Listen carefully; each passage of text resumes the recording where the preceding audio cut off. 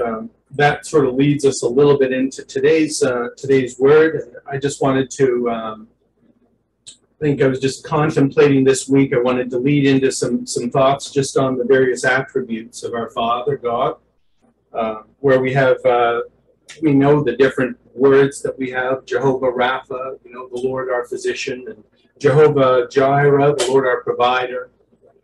Jehovah Tsidkenu, the the, the uh, Lord our righteousness. And those are just a few of the, the many attributes of the Father. But what, um, what they all suggest is that there's this uh, incredible God uh, who has created this, this tiny little blue planet in this incredible, immense universe. Um, Matthew and I were just camping up uh, last weekend. We were up at the, uh, the north end of, of Cape Breton, and we, we had a campsite that was just out right out on the open ocean. I mean, we weren't specifically, we were we were across the, the little roadway from the open ocean, but but anyway, it was close enough.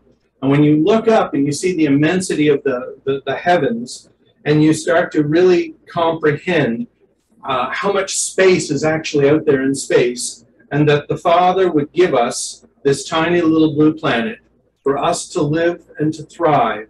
And seek to have a relationship with each one of us is, is really quite a humbling um, situation. And what I wanted to look at today was the, the, the idea of appropriation on God's plan and God's will and God's ideas for us. We know beyond the shadow of a doubt that our Father loves us and it's a uh, it's quite a remarkable experience being a father myself and watching your child grow. And and watching my son yesterday he was giving a talk at the prayer and fast in fresno but the the the the understanding and the knowledge that i have of my son is really quite a remarkable thing because really when he was this big i can remember looking at him being this big and being scared to death of this tiny little bundle um, but as you sort of grow with them and, and live and, and on all of that sort of thing, I think your your children teach you as much about yourself, I, I think, as, as you teach them. I mean, it's really quite a quite a reciprocal relationship that you have with your children. But the very fact of the matter is that we know our children, we know their patterns better than we know anybody else. Just simply because we have been there since their very first breath. And we have a very intimate knowledge of who they are. And we start to see their patterns through life. you know, you, you watch them grow and you, I won't, won't shed light on any of Matthew's in particular, but the, the, the very fact of the matter is that that intimate knowledge of, of our children is how the Father looks at us. And the, the intimacy of that relationship cannot be understated. It, uh, he knows the very um, number of the hairs on our head. He knows our genetic makeup. He knows everything about our thought processes, how we apply thought to, to everything. He knows what we require. He knows what we've what we've done and it's a it's a, a very um, intimate relationship that we have with him.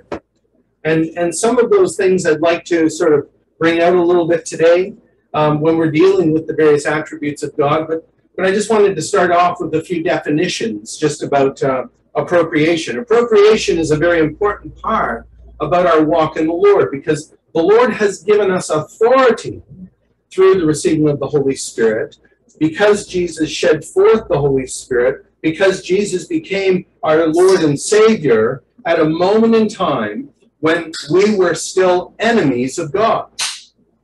And, and it's a it's a very very direct thing that he's done for us. He has given us authority through the receiving of the Holy Spirit to call ourselves after his son's name and to appropriate, to take to ourselves the, the, the meaning of all that implies.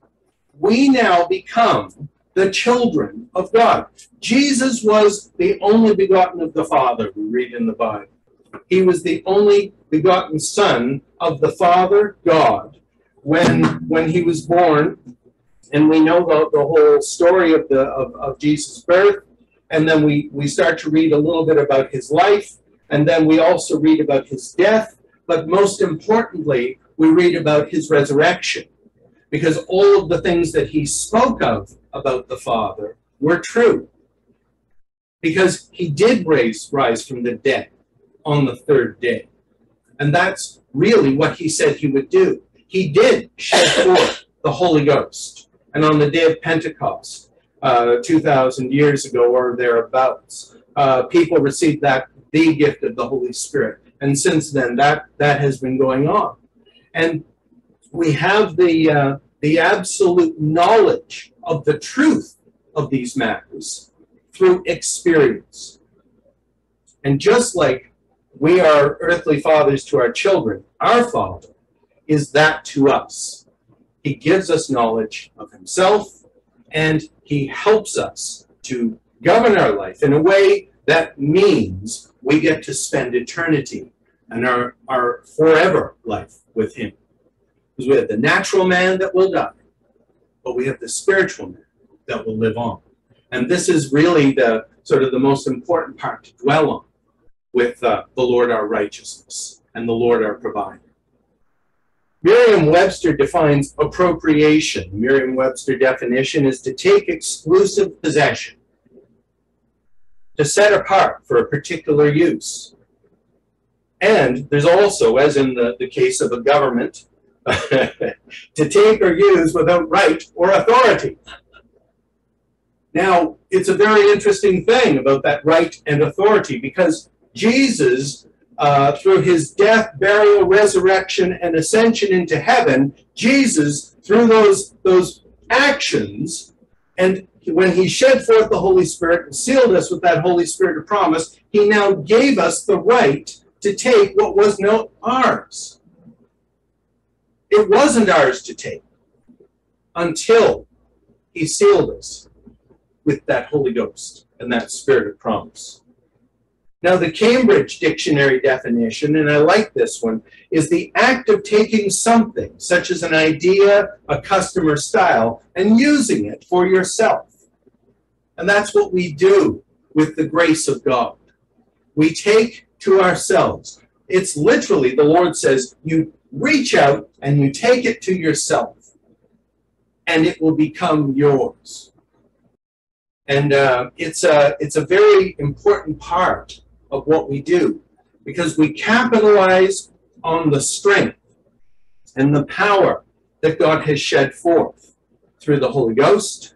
We are led by the Holy Ghost, we are filled with the Holy Ghost, and we have the power of the Holy Ghost in us.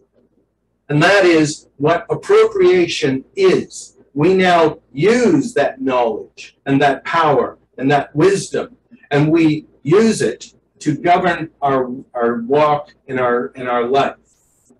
We use the sword, as it were, of the Spirit, the Word of God, to give us the knowledge.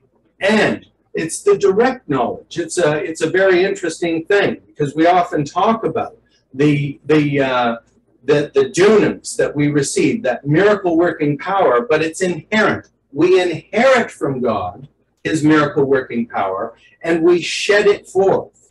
We project it and we transmit what we've received from him. And it's a it's it's a, an encompassing idea. I wanted to start reading in John chapter 6. Most of us know the story. There's been a lot of talks on this one. I woke up with a very dry mouth and dry throat this morning, so I'm, I'm hoping that I'm not sort of spitting foam as I talk. It's one of those things. That's a good image for you, folks, just in case. You can't see it on camera, right? Just, just in case. So if you see anything flying, it's because of that. It's not incense. All right, John chapter 6 and verse 1.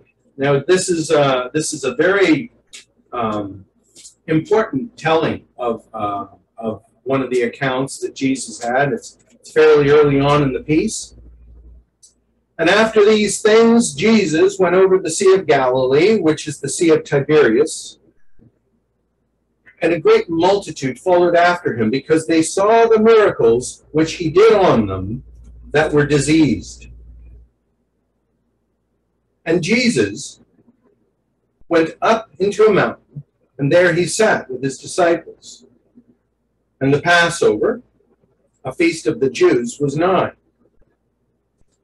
When uh, and when uh, Jesus then lifted up his eyes, and he saw a great company come unto him, he said unto Philip, Whence shall we buy bread that these may eat? And he said this to prove him, for he knew what he would do. I'm going to stop and dwell on that moment right there, because this is a really important part of our relationship with God. The questions that he asks us. Where are we going to get some bread today, Philip? And you can apply this question to any situation. And it's sort of um, it's an interesting thing because as we walk through the Lord and we walk on in the Lord and we we grow in knowledge of Him, our faith gets exercised over time. Little tiny things, those faith building moments that add up to the strength to handle when something big comes, to test our faith. And when we're when our faith is tested, those hundreds of tiny little things that happen in uh, in our life that that come to that moment. Where are we going to buy bread for five thousand today, Philip? That's a big question. We don't know, Lord. I don't know where we're going to buy 5,000 uh, bread for 5,000. It's a lot of people. But it's a very interesting thing. One little anecdote. I'm sort of I'm sort of developing the, the, the love for little anecdotes from the past. And we're talking about faith building exercises. We all know them in our testimony. Our testimonies are riddled with literally hundreds, if not thousands, of those little moments in time where the Lord has proved himself to be that that uh, all he promises us to promises us to be. It was very early in my walk, and I've probably given this testimony here, but I haven't. It used to be part of my daily testimony back in the day.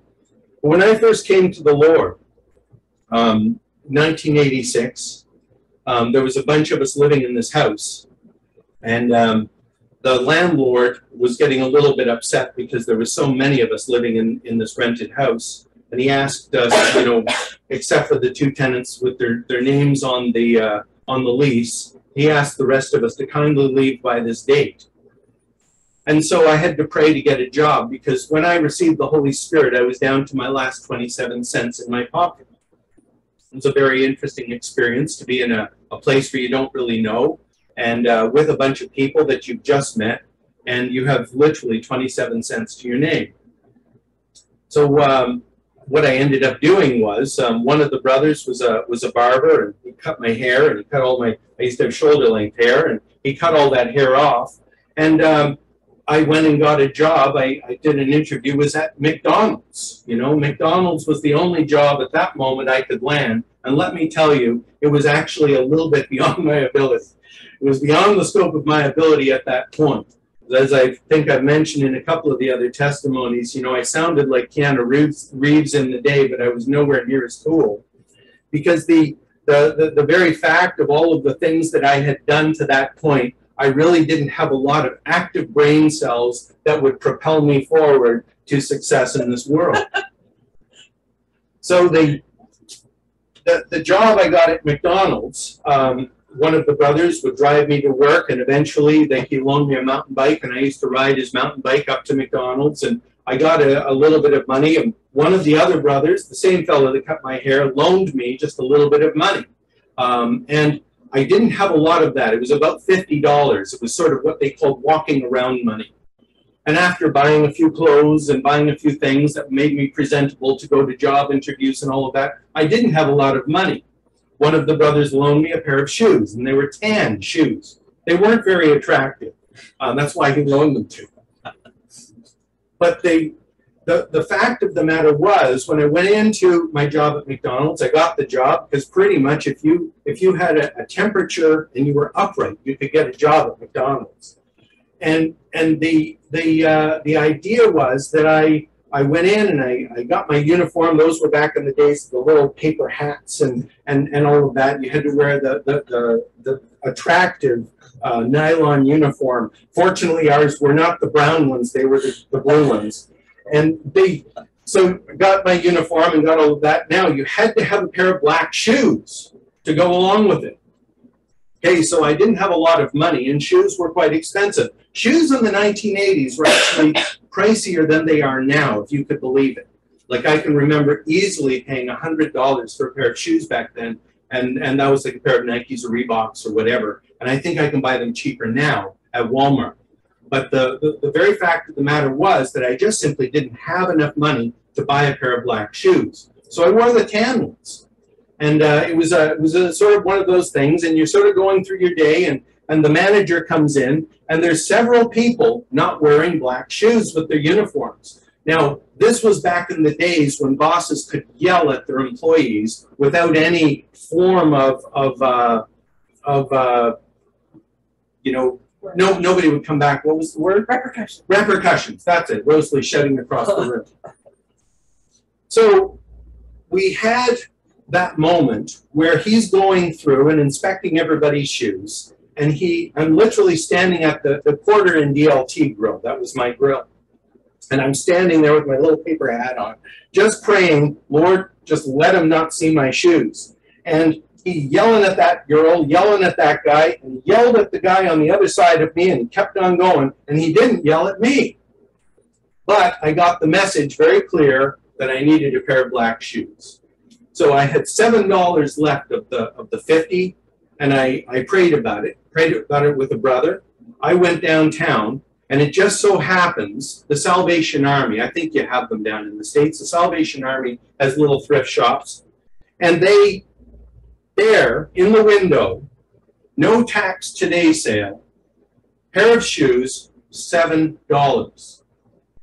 And it's a it's one of those little moments now, those shoes, I have no long idea how long they've been there, whether they were there all week. But the fundamental part of the fact was we went down on that day with $7 in my pocket, having just prayed to the Lord, Lord, I have only got $7, and Lord, I need a pair of shoes. And this is an important thing because it has to do with your livelihood. You could get written up, you got three, rep- three reprimands, you were fired. That was the day and uh, not wearing the appropriate shoes with your dress uniform or your, your uniform was enough to get you written up.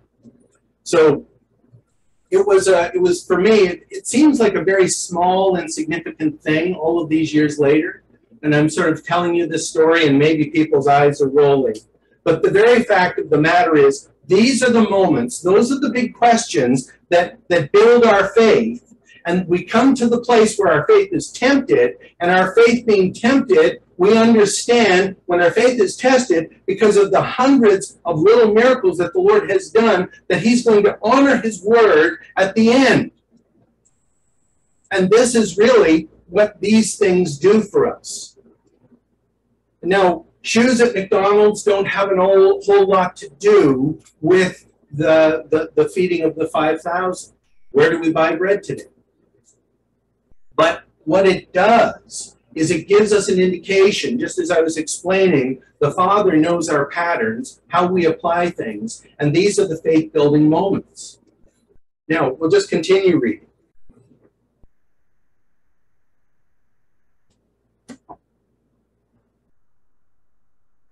In verse 7, Philip answered him, 200 penny worth of bread is not sufficient for them, that every one of them may take a little. And, verse 8, one of his disciples, Andrew, Simon, Peter's brother, said unto him, There, a lad here, which had five barley loaves and two small fishes. But what are they among so many? In verse 10, and Jesus said, Make the men sit down. And there was much grass in the place. So the men sat down in number, about 5,000. Now I want to draw your attention to what they've got to work with. They've got two small fishes, saying small fishes. I don't know what small fishes are. in Nova Scotia here, you know, a big fish is a really big fish. So, so could mean this and it could mean this. We don't know what two small fishes are, but but fundamentally, there's not a lot of food. The five loaves would be a little flatbreads. I mean, they're pitas. They're not very big. And um, sort of looking at this naturally, you're thinking about this is an impossible situation that there can be no physical answer to because literally everybody will get a crumb of food. Here we go. Verse 11 Jesus took the loaves, and when he had given thanks, he distributed to the disciples, and the disciples to them that were set down, and likewise of the fishes, inasmuch as they would. And when they were filled, and his disciples said, Gather up the fragments that remain, and not that nothing be lost. And therefore they gathered them together and filled twelve baskets with the fragments of the five barley loaves which remained over and above uh, unto them that had eaten. 12 baskets out of two things that I could probably hold in my hand. Now, I had one sister tell me one time when I was trying to explain to her God's provision, and she said, Numbers don't lie. She worked at a bank. She said, Numbers don't lie. But what she really didn't have was an understanding or a vision of the way God works. Because God doesn't work within the confines of natural law, He doesn't work in the confines of the decimal system. He works His power the way He works, just as He created, as I mentioned, this little blue globe in the center of the universe for us to inhabit, to have a relationship with each one of us. It's really quite a remarkable miracle. And no matter where we go, there God is. And no matter where we go and where we are, there He is. And it doesn't matter if we're preaching the gospel or if we're sitting down and having dinner. It, it doesn't matter if we're at our jobs and we're being persecuted. It doesn't matter what we're doing in the course of the day. God is there with us. And uh, He has that idea of provision for us. I think that was in the gifts this morning. Verse 14 Now those men, when they had seen the miracle that Jesus did, said, This is of a truth that, that prophet that should come into the world. And when Jesus therefore perceived that they would come and take him by force to make him a king, he departed again into a mountain, himself alone. This is a key point because they were looking for, they were looking for not just a, a a savior and a redeemer for their souls. They were looking for a physical king that would restore the kingdom again to Israel.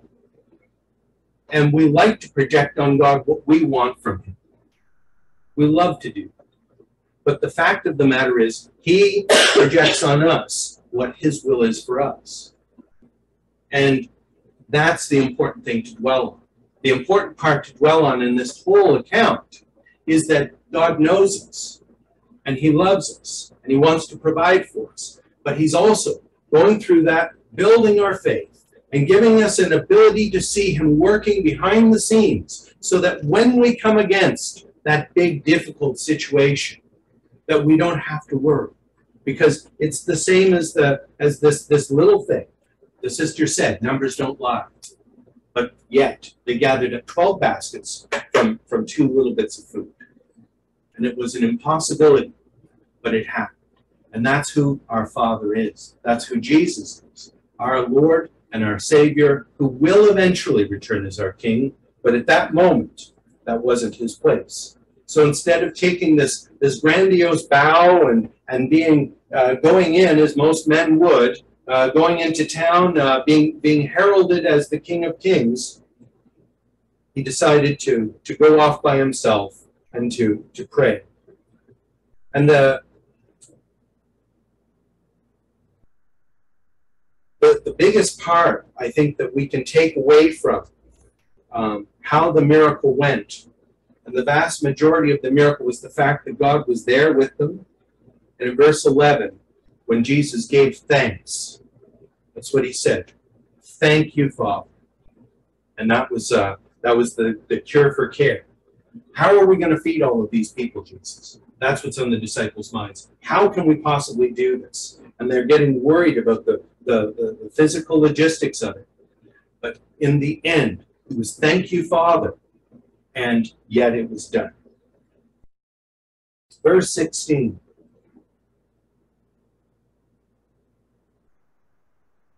And when uh, even was come, now his disciples went in, down into the sea and entered into a ship and went over the, uh, the sea toward Capernaum. And it was now dark, and Jesus was not come down to them. And the sea arose by reason of a great wind that blew, so that when they rowed about five and twenty or thirty furlongs, they see Jesus walking on the sea and drawing nigh into the ship, and they were afraid. But he said unto them, It is I, be not afraid. And they willingly received him into the ship, and immediately the ship was at the land whither they came. Now, I just wanted to read verse 21 from the Amplified because it was a. Uh, I read this whole the, the, the, whole talk from the Amplified last night, and it was uh,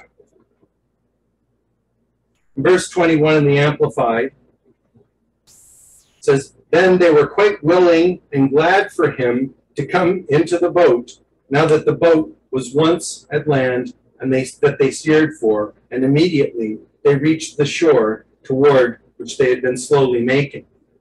And I guess the point I wanted to make out of that was the fact that they're in very shallow water. I think it's only about 40 meters deep. And when the winds come up on a 40 meter lake, we, um, we lived on Lake Erie and uh, when the winds would come up on Lake Erie, a small wind would create a really large chop in the water. The, the waves could be four and six feet out of nowhere. And uh, a lot of people actually perished in their little fishing boats because they would be way out. It's a beautiful day, and out of nowhere, the wind would come up, and they would end up in these huge swells and chops and get swamped. So, this is what the disciples were experiencing at that moment when Jesus came to them walking on the water. So, first of all, Jesus is walking on the swells and he's walking on the chop. And there they are in their tiny little boat and they're struggling to get to shore. And this is something that we can all identify with. It's something that we can we can sort of look and see with every situation that we're up against, a difficult one, that we're struggling. And the Lord comes to us and, and speaks to us and tells us what to do and immediately they're at land. And the, the miracle of, the, of that is, once again, we're talking about those faith building moments in our walk. Now, the day following, in verse 22, when the people which stood on the other side of the sea saw that there was none but uh, the other boat there, save one, whereunto his disciples were entered in, and that Jesus went not with his disciples into the boat, uh, but that, that his disciples were gone away alone. So they were looking for him. They were looking for this guy they wanted to anoint as their king. And uh, they knew the disciples left, and they saw them leave, and they knew Jesus was still here, and they could look across the lake because it's a small, small sea, and they could see on the other side that there was just one boat there. In verse 23, howbeit there came other boats from the Tiberias nigh into the place uh, where they did eat bread, and after the Lord had given thanks. And when the people therefore saw that Jesus was not there, neither his disciples, uh, they took uh, shipping and came to Capernaum to seeking for Jesus. And when they had found him on the other side of the sea, of the sea, uh, they said unto him, Rabbi, when camest thou hither? And Jesus answered and said, Verily, verily, I say unto you, you seek me, not because you saw the miracles, but because you did eat of the loaves and were filled. You're coming here for natural sustenance. You're coming here because I provided for you something that was natural, but you're forgetting that this whole thing was done for a reason. So look up. That was the idea. And this is what we struggle with with people when they're so fixated on the natural here and now. We talk about that a lot with the uh, the um, the prosperity doctrine in the gospel, the, the, the idea that that becoming coming to the Lord, you're going to be healthy, wealthy, and wise, and you'll never have any problems, which is a, a, a far cry from what the Bible actually tells us. That the the idea is that we're looking at the salvation of our souls. We're looking for our faith to be built up and to go to a place where we really know and understand that the Father is there with us and that we will spend eternity with Him.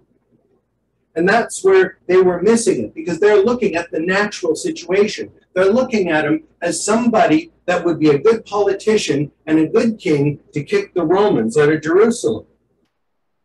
And he says, You're missing the point. In verse 27, he says, Labor not for that meat which perisheth, but that uh, for that meat which endureth unto everlasting life, which the Son of Man shall give unto you. For him hath God the Father sealed. And that's where he became the Christ. He was the Christ. He was filled with the Holy Ghost. The Holy Ghost was upon him. As we saw in in, uh, in uh, Jude, um, the, with the story of John, when John baptized him, he saw the Spirit of God descending upon him, and it abode upon him, and the voice from heaven. Jesus became the Christ. Then they said unto him, What shall we do that we uh, might work the works of God? And Jesus answered and said unto them, This is the work of God, that you believe on him whom he has sent. And they said unto him, What sign showest thou then, that we may see and believe thee? What doest thou work? And then he goes on to talk about the manna in heaven, calls himself the bread of life, and he gets into a little bit of a of a controversial discussion with the Jews. And let's let's just skip down to verse 47, uh, 47 uh, of that same chapter. I'm going to shorten this up just a little bit.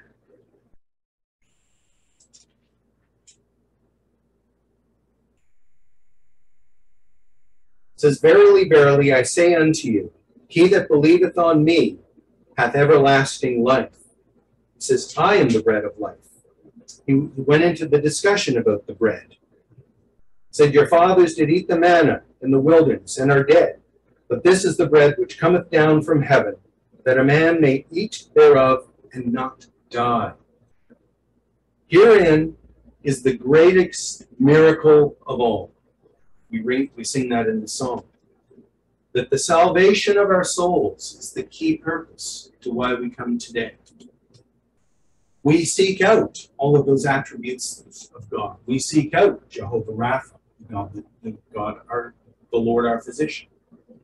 We seek out. Jehovah Tsidkenu, the Lord, our, our sorry, Jehovah Jireh, the Lord, our provider, and Jehovah uh, Tsidkenu, the Lord, our righteousness. But above all things, the Jehovah Tsidkenu, the Lord, our righteousness, is the key. Because he says the salvation of your souls is paramount, despite the fact that I can feed 5,000 men with a couple of loaves and a couple of fishes. Says that's not the important thing to dwell on. He says the miraculous is all around you, and the miracles I do, they're of the Father, which the Father has given unto me, because he has given me the power to do so. I speak of my Father, and my words are true, Jesus said. The the important part is the salvation of your souls. And as we're, we're getting to that place where we stopped and we started and we, we talked about the relationship that we have with him, how much he knows us, how much he loves us, about how he created that little blue marble, about how all of these things all working together for that incredible point. Now, I'll read verse 48 again. I am that bread of life. Your fathers did eat manna in the wilderness and are dead.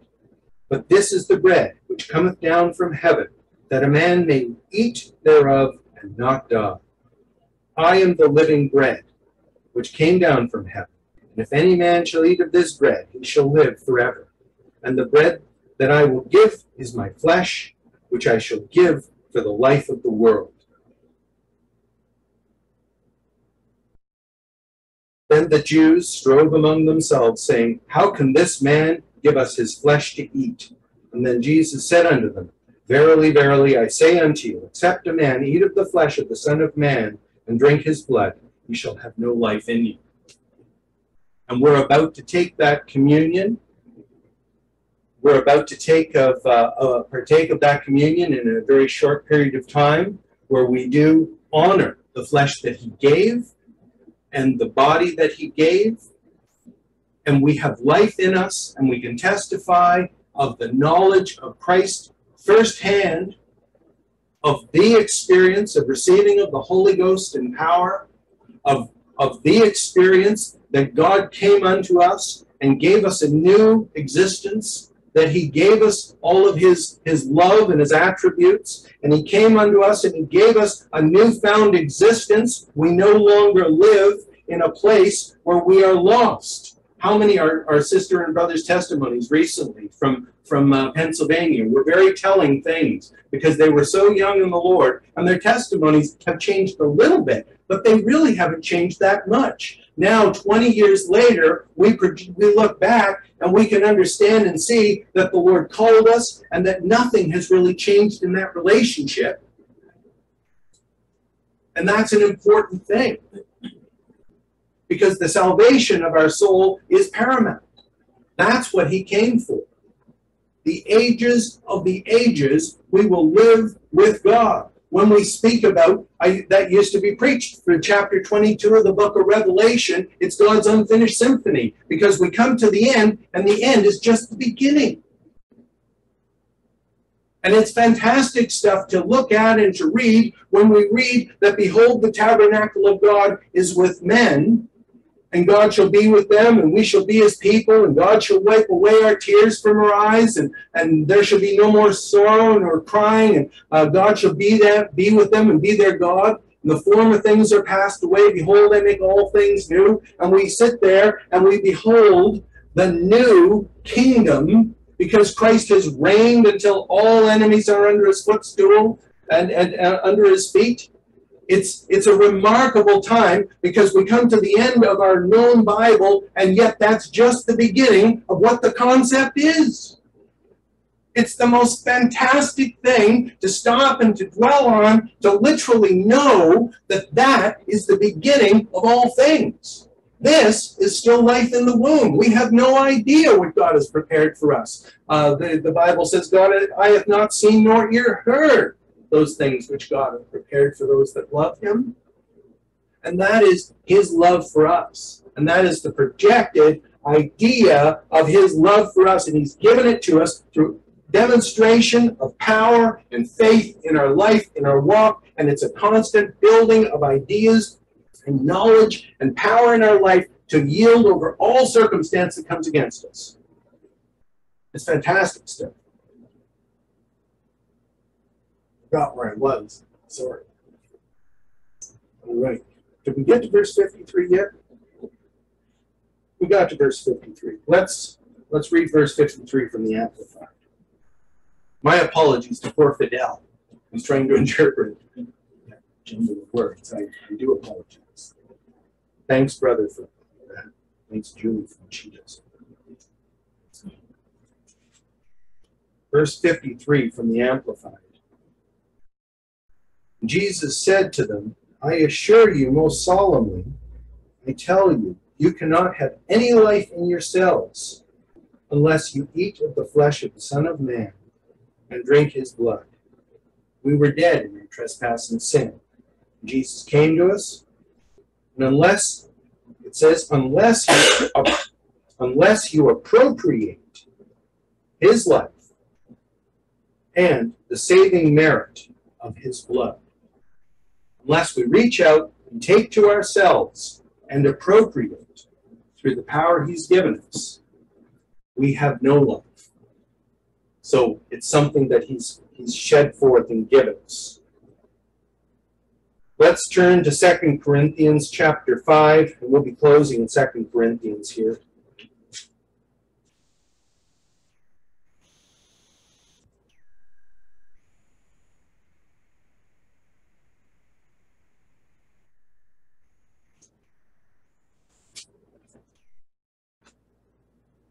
Second Corinthians chapter 5 and verse 17 to start.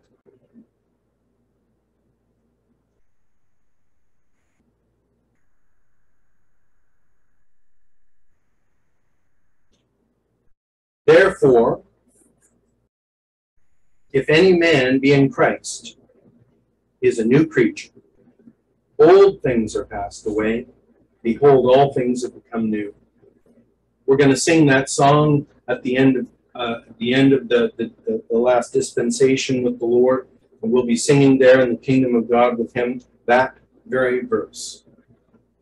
But what he's telling us as a precursor, he gives us a new life, he gives us a new shot, a new identity. He gives us uh, a, an ability to be his son, his daughter, rather than being somebody who is just living some life in the world and not having any meaningful existence.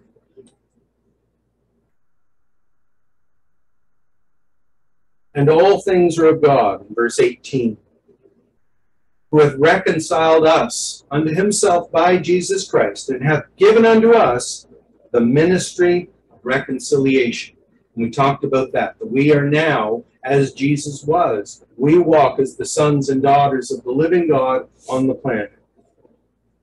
To wit, that God was in Christ reconciling the world unto himself, not imputing their, rest, their trespasses unto them, and hath committed unto us the word of reconciliation. Now we are ambassadors for Christ, as though uh, as uh, though God did beseech you by us. We pray you in Christ's stead, be reconciled to God. For he hath made him to be sin for us who knew no sin, that we might be the righteousness of God in him. And that is really it. That is the biggest miracle of all. Because he gave us this ability now through the blood of Christ. We're going to stop in, in a couple of minutes and we're going to we're going to take our communion service and we're going to remember the sacrifice that Jesus did for each one of us. We're personally going to take that cup and drink or eat, drink it. We're going to eat that bread and we're going to think on it and we're going to remember what God did for us through Christ and we're going to really understand what that verse means because he reconciled us unto himself through that incredible sacrifice that Jesus did for each one of us. And that is what this is about.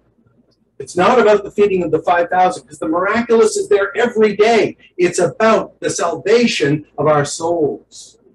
It's about why he did it. It's not even about what the what he did in, in, in particular. We can all testify the $7 shoe story and, and all of those things that happened in our life, all of those little things that, that, that have built our faith through time as we require. Uh, but the, the greatest miracle of all, folks, is really, we go back to chapter 22 of the book of Revelation, when we're standing shoulder to shoulder, praising God and singing that song. That will be the day. That will be we can we can say was the day that Jesus that was what he died what he died for. It'll be that moment that the tabernacle of God is now with men, and that there's no more sorrow, that there's no more pain, there's no more death, no more crying, no more misery. Those are the things, and that's what we look for.